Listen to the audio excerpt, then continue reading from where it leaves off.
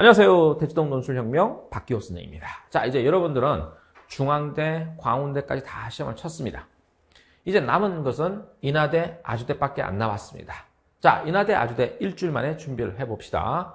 그간 다른 대학 시험을 치느라고 여러분들은 논술에 대한 노하우도 생겼고 시험장에 대한 이해도도 높습니다. 그럼 이제 인하대, 아주대는 어떻게 독특하냐를 좀 파악해 봅시다. 자, 인하대입니다. 먼저 1번 주장형과 2번 자료 해석이 있는데 인하대는 논술 문제가 어려워도 너무 어려워. 너무 지나치게 어려워. 그래서 교수님들이 반성을 했는지 논술 문제 쉽게 출제하겠다.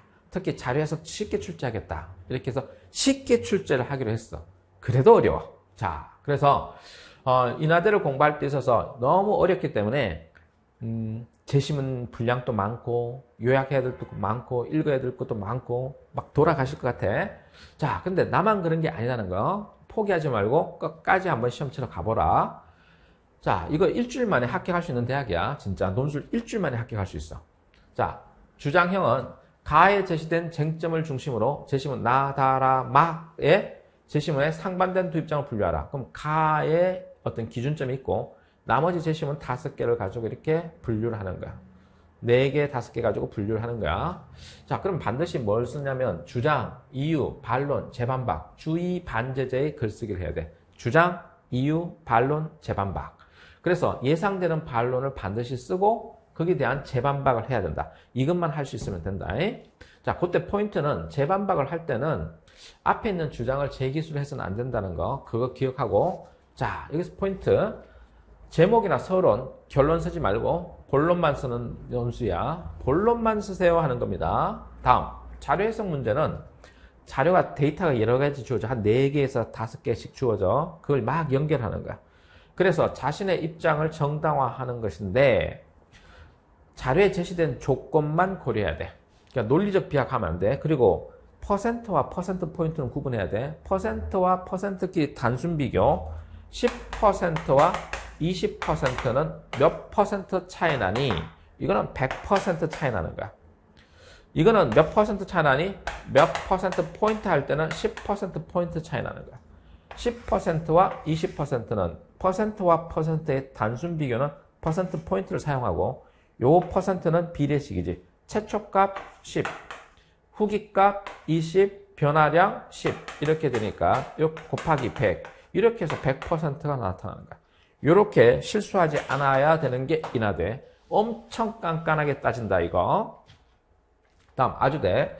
아주대는 야 이거 경쟁률이 너무 어마무시하잖아. 막 60대 1, 70대 1, 90대 1. 오 너무 심각한 대학이야. 그런데 그래도 논술 문제는 그렇게 어렵지 않으니까 체계적으로 딱 준비를 해보자 이거야. 그러면 요약, 비교대조, 통합형 문제가 출제되는데 자 여기서 제시문의 소주제문을 간추려서 한 편의 글이 되도록 요약한다. 즉 요약을 잘 해야 돼. 요약. 요약이 어려워. 아시되는. 다음 비교 대조할 경우에는 반드시 뭐가 있어? 비교 대조니까 공통점 있고 차이점 있지. 그래서 차이점을 명확히 파악해서 한 편의 글이 되도록 해야 되고 통합형 문제는 제시문 다섯 개까지 나오기도 해. 그러니까 세 개에서 다섯 개를 막 서로 연결돼 있어. 그, 그 논리적 연결을 찾아내는 게 포인트가 돼.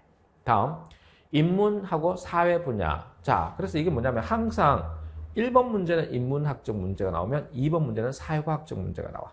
그래서 1번 인문학적 문제가 나오니까 철학, 윤리 이런 문제 나오고요. 문학적 내용 나옵니다.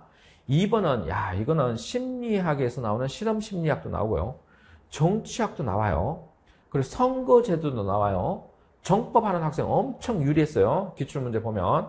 그리고 국제관계 문제도 나옵니다. 그래서 이런 경제 문제는 조금 약한 그렇게 자주 안 내요. 그래서 주로 이게 시험 출제하는 사람이 누군지 알겠어요. 이 정도 되면 이게 정치학 그러니까 선거제도 그리고 심리학 분야로 그냥 딱 자주 출제된다는 거. 그래서 아주대 논술 문제는 2번 문제가 매우 독특해요. 자, 어, 사회과학 문제가 나오니까 요 사회과학 문제와 관련해서는 여러분들이 아주대 기출 문제가 쌓여 있는 게 있으니까 그거 다 풀어보고 갑니다. 자, 여기까지 해서 여러분에게 인하대 아주대까지 설명을 했습니다. 자, 꼭 합격하시기 바랍니다.